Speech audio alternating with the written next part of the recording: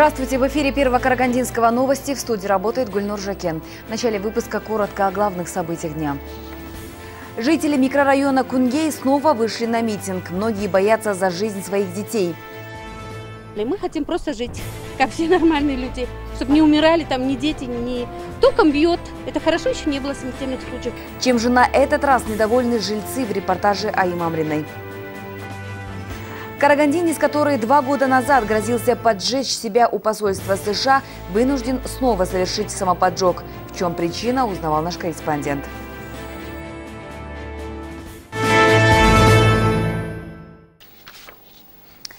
Обо всем по порядку. Жители микрорайона Кунгей, район улицы номер 17, боятся за жизнь своих детей. Кабели электроэнергии на этой площадке протянуты под землей. То и дело происходят обрывы. Сейчас местами провода оголены.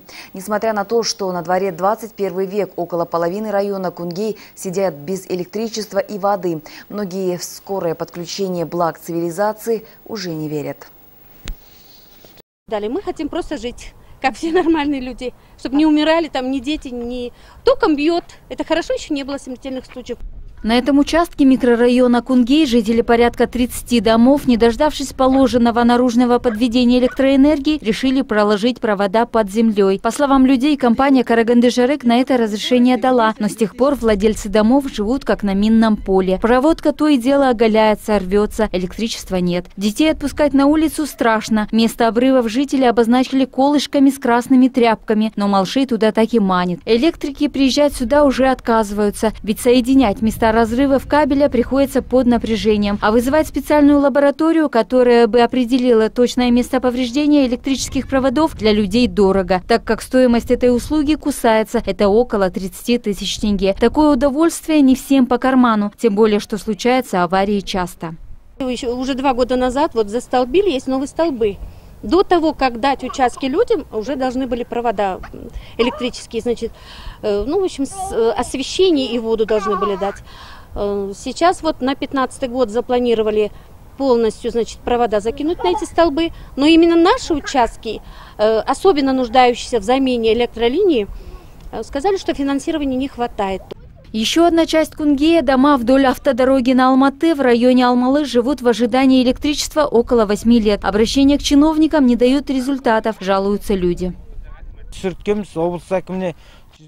Зимой мы писали жалобу Акиму области от 115 семей. Ответ от него пришел. Пока не пройдет Экспо, то из бюджета не будут выделены деньги. Электричества нам не видать. Но ведь у нас нет и воды. Попробовали бы чиновники сами пожить в таких условиях. Между тем, трансформаторные подстанции в этом районе есть, но они пустуют. По словам жителей, самостоятельно протянуть электрокабели им не по карману. Стоимость такого рода услуги влетит им примерно в миллион тенге. Вот так и живут карагандинцы при свечах и ежедневно привозя воду из родника Майкудука.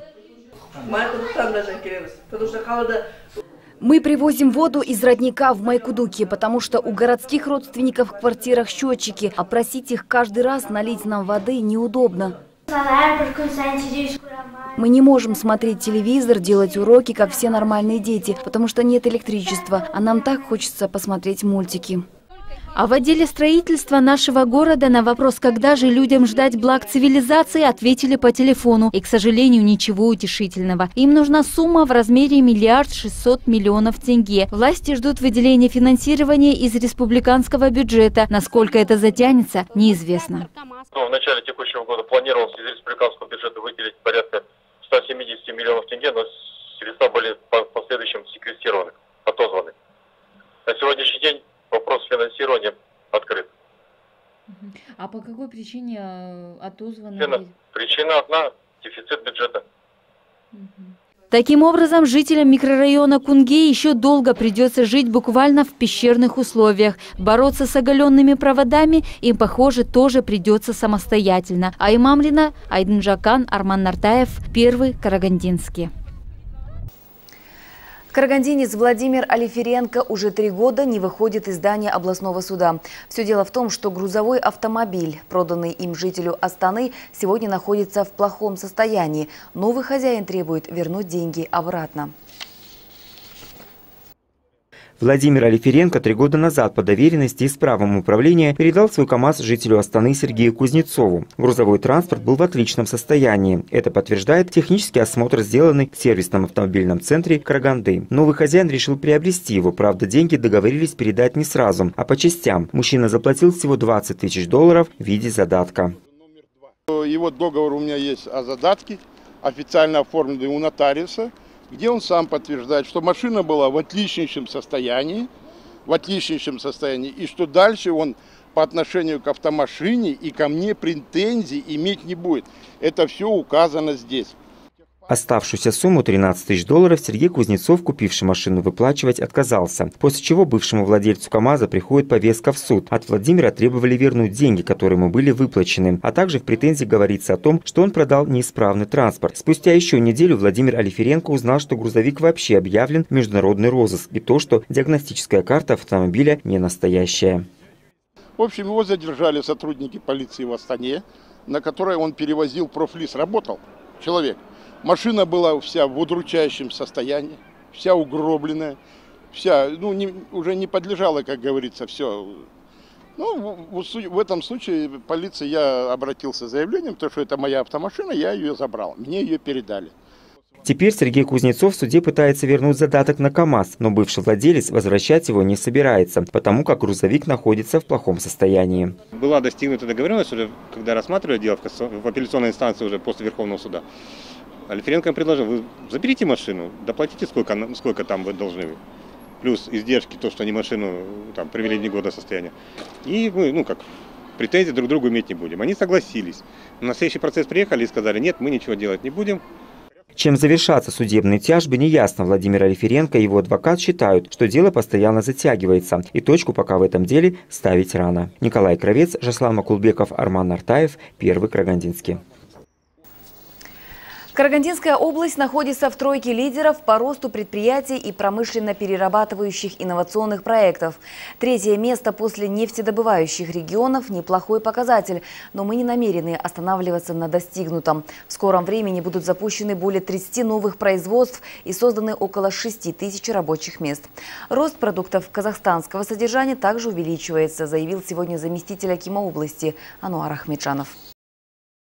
В ходе визита главы государства нам говорилось о том, что потенциал области очень большой, и наша задача это всемерно его использовать и направлять на благо и социально-экономическое развитие всей области.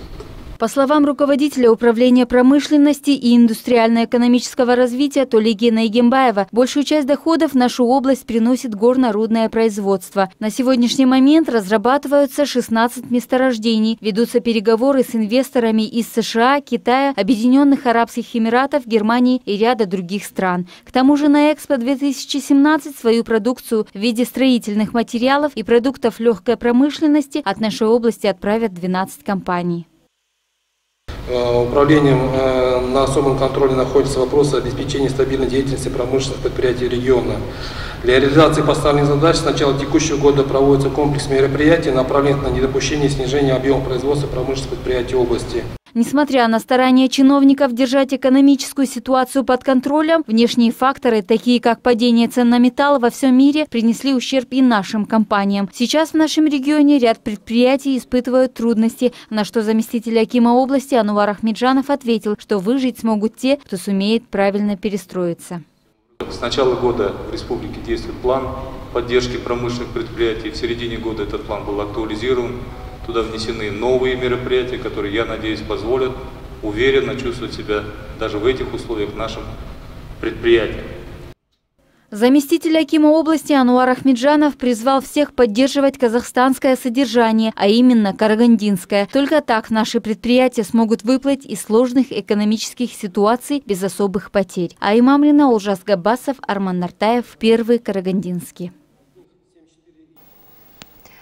Наручники с гарантией до трех лет. Под такой эгидой в здании специализированного автоцона состоялась акция противодействия коррупции. Лица, способствующие даче взятки государственным служащим, в том числе и работникам Центра обслуживания населения, будут наказываться штрафами в размере 20-кратного размера взятки, либо лишением свободы сроком до трех лет. Сегодня специалисты агентства по делам госслужбы и противодействия коррупции совместно с Первым медиацентром разговаривали с населением и вручали памятки. Такая акция разъяснения закона о коррупции стартовала уже в ряде городов нашей страны. Алмата, Шымкент, Талдыкурган. И вот очередь дошла до шахтерской столицы. По словам организаторов, центры обслуживания населения выбраны не случайно. Именно здесь граждане получают наибольшее количество государственных услуг. А некоторые этим пользуются в корыстных целях. Зачастую причиной этих мошеннических манипуляций, в том числе дачи взяток, становятся сами граждане и их неграмотность. Четко указаны три статьи который принят новый уголовный кодекс. Это 366 э, получение взятки, 367 дача взятки и 368 это посредничество. Просто наши граждане некоторые не понимают, что есть статья за посредничество. Организаторы провели анкетирование 200 человек. Результаты, к сожалению, оставляют желать лучшего. Граждане недовольны обслуживанием в ЦОНах. Некоторые даже не скрывали, что видели факты мошенничества. Некие лица, обещав быструю готовность бумаг, просили взамен деньги, при этом не являясь работниками ЦОНов. В связи с этим граждан просят быть бдительными. Свидетелям коррупционных проявлений обращаться в колл-центр по номеру 1494. За это граждан, кстати, будут поощрять материально. Есть нарушения во всех сферах. Есть системы, с которыми мы сейчас работаем, чтобы их не допустить. СОМ, он просто ну, получает и передает документы. Но, к сожалению, такая сформировалась практика, что все, скажем так, э, нарекания от населения идут к сотрудникам СОНа, хотя они просто принимают и получают. Что говоря о уголовных делах, э, также имеются факты, Довольны ли люди работой центров обслуживания населения, мы решили узнать лично. Мнения населения были разные. Вся работа в ЦОНе а, идет не очень положительным ходом. Сотрудников очень мало, потока людей очень много, кондиционеров мало, жара стоит большая. Качество обслуги очень устраивает, консультанты вежливые, приветливые, объясняют все доходчиво, не приходится по 10 раз переспрашивать. Таких очередей нет, как раньше. Приходим, берем талончики, садимся, ждем. Потом каждого вызывают, ну, очень удобно.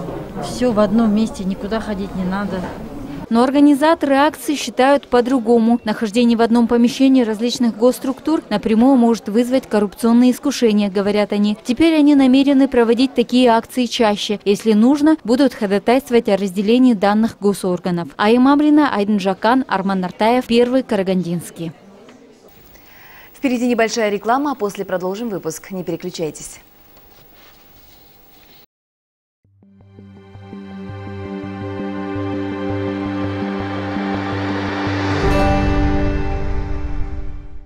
Спонсор показа Galaxy Group, производитель продукции торговых марок Алюгал, Галвин, Херкюль. Галвин. Оконные системы А-класса. Долговечность 60 лет. Галвин. Морозостойкий, надежный, прочный. Для тех, кто ценит качество.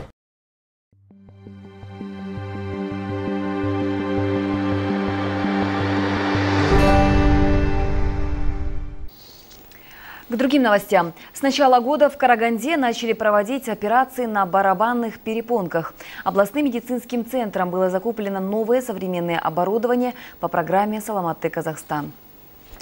Каргандинцам уже было сделано 500 операций, из них 30% через бюро госпитализации по государственному заказу, а это значит на бесплатной основе, а другие экстренные случаи на коммерческой основе. На сегодняшний день это единственное лор-отделение в области, в котором расположено 30 коек для обратившихся пациентов. Теперь жители Караганды могут не выезжать в другие страны, чтобы сделать такую операцию.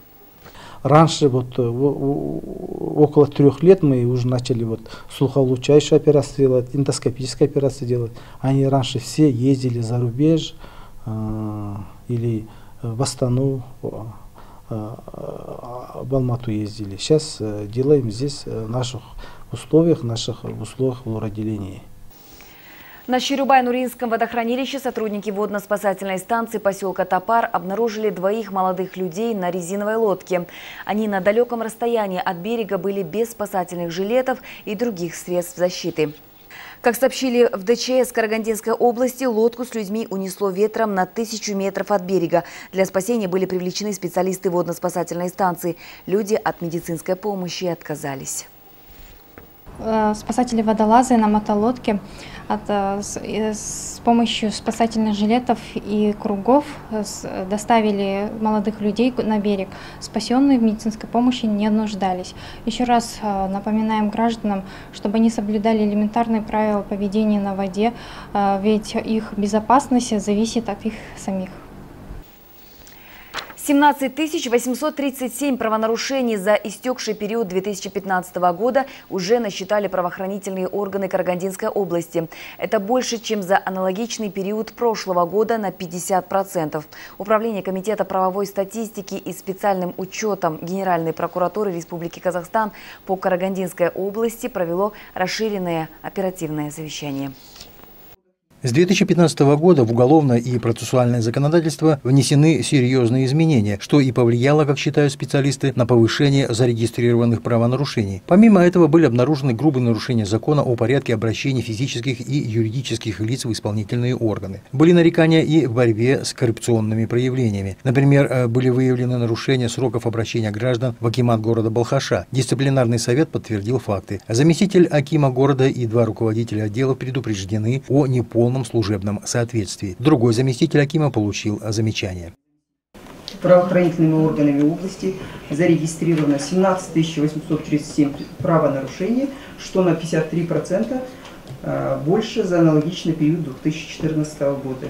В целом по области количество правонарушений возросло за счет преступлений небольшой тяжести, это 123,5%, Установлены факты несдачи деклараций о доходах лицами, уволенными с государственной службы по отрицательным мотивам. Таких случаев десятки. При этом сотрудниками органов государственных доходов они не берутся во внимание. По результатам проверки к дисциплинарным взысканиям привлечено 16 должностных лиц. В соответствии с последними изменениями в законодательстве разработана абсолютно новая система учета и контроля проверок, единый реестр субъектов и объектов проверок. Он уже стартовал в органах по защите прав потребителей жителей области. Уже выявлен ряд проведенных незаконных проверок. В целом по области количество преступлений возросло за счет преступлений небольшой тяжести. Большая доля регистрации преступлений приходится на органы внутренних дел. На оперативном совещании обсуждены недостатки, по которым выработаны меры по их устранению. Сергей Высокосов, Жасулан Макубеков, Арман Нартаев, Первый Карагандинский.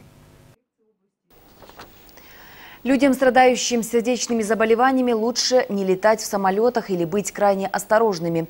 К такому заключению врачей натолкнуло недавнее печальное событие.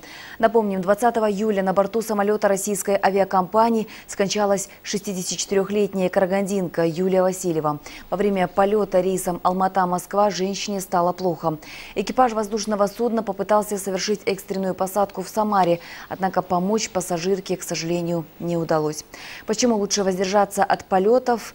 И что по этому поводу думают жители шахтерской столицы, узнавал наш корреспондент Аим Амрина.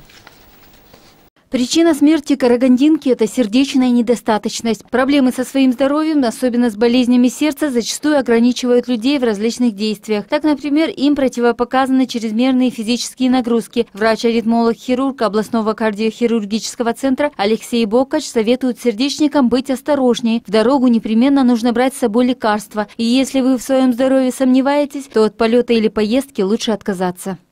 Если вы летите в самолете и вы видите, что человеку стало плохо, который сидит рядом с вами или впереди, вы должны прежде всего сообщить об этом экипажу самолета, потому что стюардесса или стюард, они обязаны уметь проводить первую медицинскую помощь, как то массаж сердца или искусственное дыхание. Несмотря на предостережения, пассажиров в аэропортах не становится меньше. Авиакомпании не проверяют их медицинское состояние. С вопросом, посещают ли карагандинцы врачей перед полетом, мы обратились к гражданам города. Наверное, это нужно, необходимо. Электрокардиограмма, особенно в возрасте, наверное, это надо. Да. И чтобы не было никаких там, казусов в самолете, я думаю, что это необходимо. И каждый человек должен об этом ну, я летала, когда была молодая, сейчас давно уже не летала. Но я, в общем-то, за своим здоровьем слежу, поэтому ничего страшного у меня нет, например, чтобы чего-то бояться, опасаться. Если ты чувствуешь себя больным человеком перед каким-то, перед какой-то поездкой, то нужно обратиться к врачу, может быть, сделать даже прививку. Может быть, э, обязательно берешь с собой в дорогу много лекарств. Витамины, препараты, э, противовирусные, это обязательно. А теперь несколько советов любителям перелетов на самолетах от специалистов турагентств. Если вы собрались за границу, подумайте о том, как защитить себя во время поездки. Непривычный климат, незнакомая пища, экзотические животные и насекомые – все это может стать настоящей проблемой и привести к большим тратам денег. А рассчитывать на помощь близких вы не сможете, поэтому имеется программа медицинского страхования, которые предусматривают возмещение всех расходов, возникших в результате внезапного заболевания или несчастного случая во время пребывания гражданина за границей. Аймамлина, Исламбек Успан, Арман Нартаев, Первый Карагандинский. Это были все новости на сегодня. Благодарю за внимание. До встречи в эфире. Аман Сауболнстар.